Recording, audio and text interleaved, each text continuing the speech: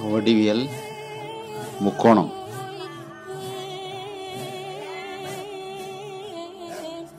ஆக்கம் ஆ. சிவராமகிருஷ்ணன் பட்டதாரி ஆசிரியர் கணிதம் ஊராட்சி ஒன்றிய நடுநிலைப்பள்ளி சர்க்கார் கொல்லப்பட்டி சேலம் ஊரகம் சேலம். வகுப்பு ஆறு ஏழு எட்டு இது பொதுவான பகுதி. அதனால் எல்லாருமே பார்க்கலாம். முக்கோணங்கள். முக்கோணங்களை பற்றி நமக்கு எல்லாருக்கும் நல்லா விஷயம் தெரிஞ்சிருக்கும். இருந்தாலும் மறுபடியும் உங்களுக்கு ரீகால் பண்ணுறதுக்காக இந்த விஷயத்தை கொண்டு வரேன். மூன்று பக்கங்கள் மற்றும் மூன்று கோணங்கள் உடையது முக்கோணம். இது எல்லாருக்கும் நமக்கு தெரியும் இல்லையா? அடுத்தது முக்கோணம் ஏபிசி இதில் பார்த்தீங்கன்னா கோணம் பியும் கோணம் சியும் ஈக்குவலாக இருக்குது. இரண்டு பக்கங்களும் மற்றும் இரண்டு கோணங்களும் சமமாக உடையதாக இருந்தால் அதை வந்து இருசம பக்கம் முக்கோணம் அப்படின்னு சொல்லலாம். புரிஞ்சாங்கன்னா அடுத்தது பார்த்திங்கன்னா முக்கோணங்களில் இன்னொரு வெரைட்டி இருக்குது மூன்று பக்கங்களும் மற்றும் மூன்று கோணங்களும் சமமுடையதாக இருந்தால் அது சமபக்க முக்கோணம் அப்படின்னு சொல்லலாம். எவ்வளோ எளிதாக இருக்குது பார்த்தீங்களா?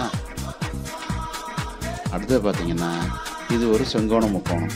எப்படி செங்கோண முக்கோணம்னு சொல்கிறீங்க ஒரு கோணம் தொண்ணூறு டிகிரியாக இருந்தால் அம்முக்கோணம் செங்கோண முக்கோணம் என அழைக்கப்படும்.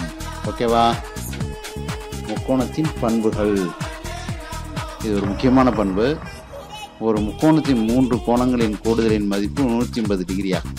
ஒன் எயிட்டி டிகிரி அதாவது angle x angle y angle Z equal to one eighty degree அப்படி இருந்தால் இதுதான் வந்து ஒரு முக்கோணத்தோட பண்பு.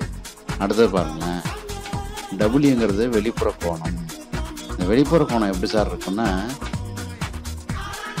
ஒரு முக்கோணத்தின் உள் எதிர்கோணங்களுக்கு சமமாக இருக்கிறது. பேர் தான் வெளிக்கோணம் அப்படின்னு சொல்கிறோம் இங்கே பாருங்க. ஒரு முக்கோணத்தின் முக்கியமான பண்பு என்ன சார் அப்படின்னா ஒரு முக்கோணத்தின் இரண்டு பக்கங்களின் கூடுதல் மூன்றாவது பக்கத்தை விட அதிகம். அதாவது ஏபி இந்த அளவுக்கு பார்த்திங்கன்னா ஏபி அதுவும் பிசி இந்த அளவு எப்பொழுதுமே எப்படி சார் இருக்கும்னா ஏசியை விட பெருசாக இருக்கும் அப்படிங்கிறது தான். அதாவது ஏபிங்கிற பக்கத்தையும் பிசிங்கிற பக்கத்தையும் கூட்டி வர ஆன்சர் எப்படி இருக்கும் அப்படின்னா ஏசிங்கிற பக்கத்தின் அளவை விட பெருசாக இருக்கும்.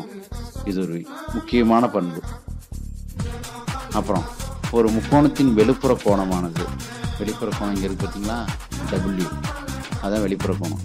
அது எப்படி சார் இருக்குன்னா உள் எதிர்கோணங்களின் கூடுதல் ஆகும். உள் எதிர்கோணங்கள் அதாவது எக்ஸு அண்ட் ஒய் இது ரெண்டையும் கூட்டி வர ஆன்சர் ஈக்குவல் டு டபிள்யூ இது ஒரு முக்கோணத்தின் முக்கியமான பண்புகளில் ஒன்று வாய்ப்புக்கு நன்றி. மீண்டும்